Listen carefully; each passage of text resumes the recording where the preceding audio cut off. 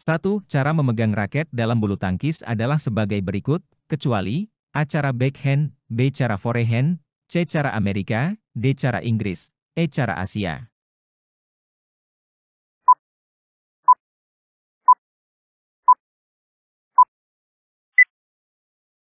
Jawaban yang benar adalah E. 2. Dalam permainan sepak bola, untuk mengoperkan bola kepada teman dalam jarak dekat menggunakan kaki bagian, A. Tumit, B. Telapak kaki, C. Kaki bagian luar, D. Kaki bagian dalam, E. Kura-kura kaki.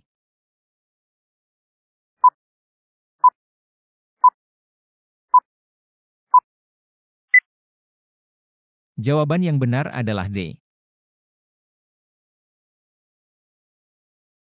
3. Latihan menendang bola, yang bertujuan untuk menembakkan bola dengan keras, tetapi arah bola sering kurang terkontrol, merupakan cara menendang bola yang menggunakan A. Kura-kura bagian dalam, B. Kura-kura bagian luar, C. Punggung kaki, D. Kaki bagian luar, E. Kaki bagian dalam.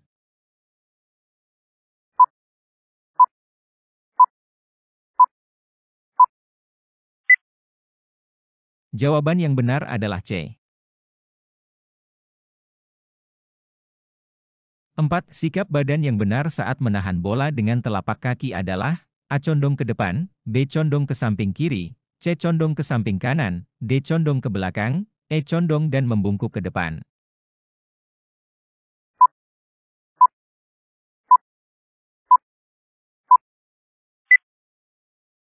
Jawaban yang benar adalah E.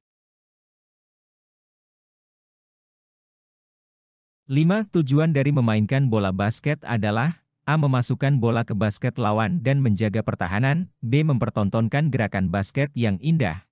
C. Menjaga musuh yang membawa bola. D. Menciptakan poin sebanyak-banyaknya. E. Mengawal gerakan lawan.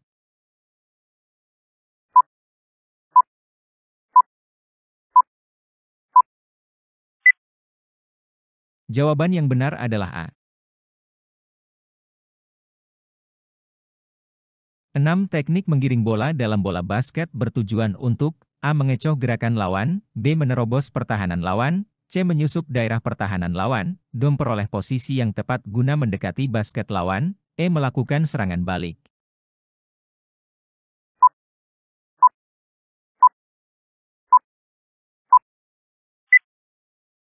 Jawaban yang benar adalah D. 7. Salah satu pemain dari regu lawan melakukan pelanggaran ringan menarik baju lawan, pemain yang dilanggar akan mendapat A. Throw in, B. Lay up shoot, C. Free throw, D. Technical foul, E. Three point shooting.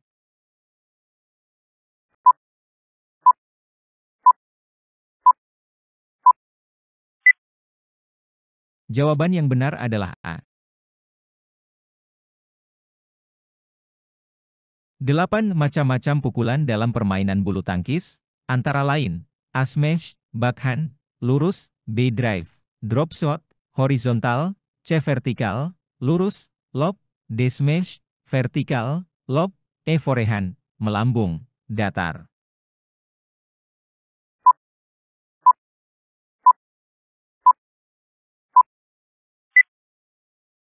Jawaban yang benar adalah A. 9. Pukulan drive dalam permainan bulu tangkis mempunyai sifat A. Melambung, B. Melempar, C. Mendatar, D. Melayang, E. Menukik.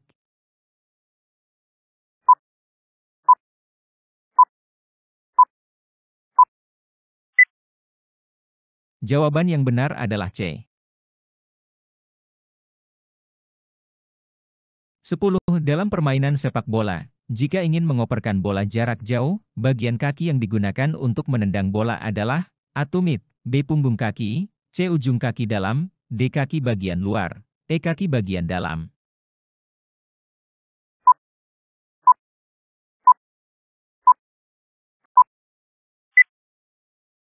Jawaban yang benar adalah A. 11. Teknik memasuki finish yang benar pada perlombaan lari adalah A. Meloncat ke garis finish, B. Menggapai pita finish dengan tangan, C. Melambatkan lari, D. Menoleh ke belakang, E. Membusungkan dada.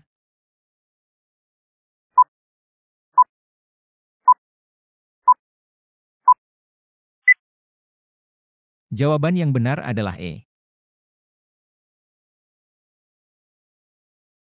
12. Berikut ini adalah termasuk nomor-nomor lari jarak pendek, kecuali A 400 meter, B 300 meter, C 200 meter, D 100 meter, E 500 meter.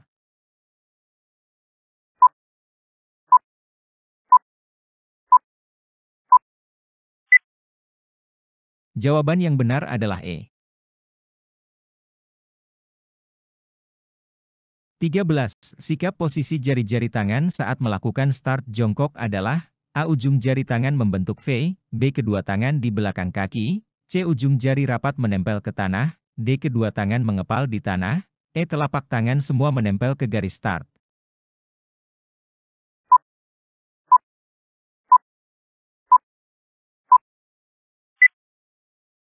Jawaban yang benar adalah A.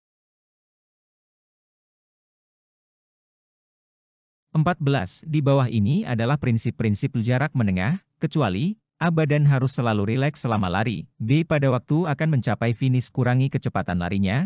C. Usahakan berlari dengan kecepatan yang tetap. D. Bila ingin melampaui lawan sebaiknya dilakukan pada lintasan lurus. E. Secepat mungkin mengambil posisi sebagai pelari terdepan.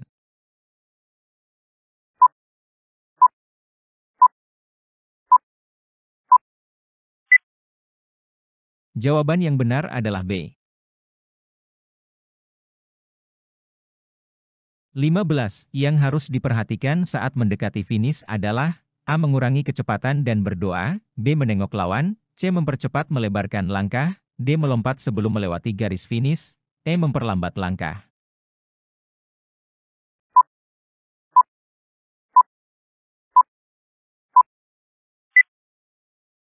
Jawaban yang benar adalah C.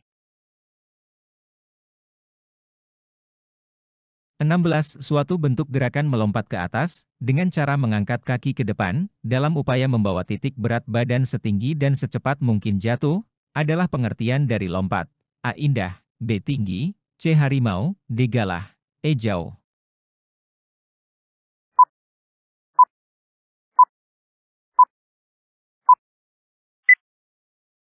Jawaban yang benar adalah B. 17. Condongkan badan ke arah dalam pada bagian yang lengkung adalah teknik A. Bertolak, B. Melewati mistar, C. Mendarat, D. Ancang-ancang, E. Menolak.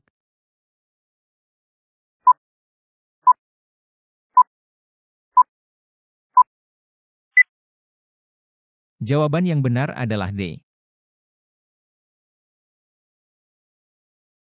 18. Menggunakan seluruh punggung dibantu dengan lengan adalah latihan teknik. A. Mendarat, B. Bertolak, C. Ancang-ancang, D. Melewati mistar, E. Mendarat.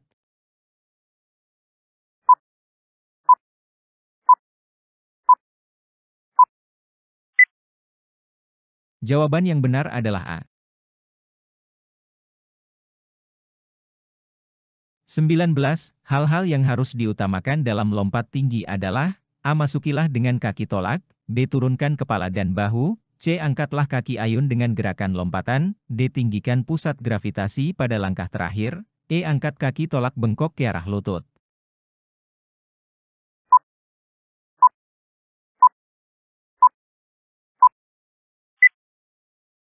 Jawaban yang benar adalah B.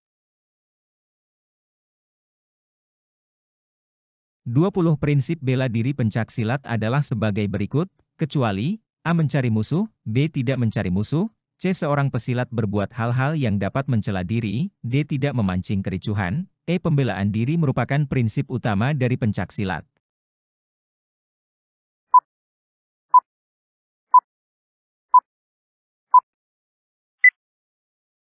Jawaban yang benar adalah A. 21. Tujuan latihan kayang adalah untuk melatih otot, A. Tangan, B. Pinggang, C. Perut, D. Badan, E. Leher.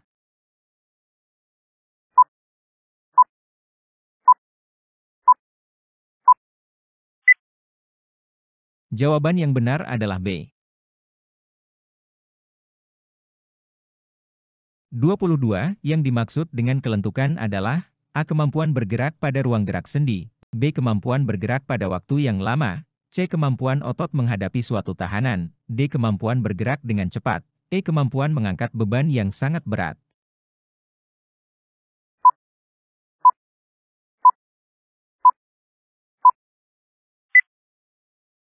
Jawaban yang benar adalah A. 23. Kemampuan membangkitkan tegangan pada otot untuk menghadapi tahanan disebut A. Daya tahan, B. Kelentukan, C. Kecepatan, D. Kekuatan, E. Kelenturan.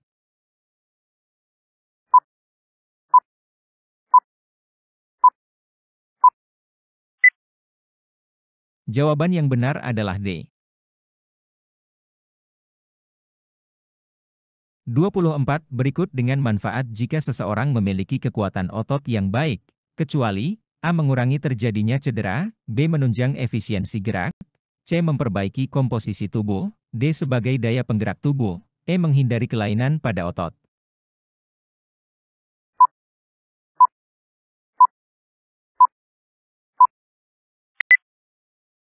Jawaban yang benar adalah A. 25. Salah satu bentuk latihan meningkatkan kekuatan otot tungkai adalah A. Push up, B. Backlift, C. Sit up, D. Squat jump, Esut Leran.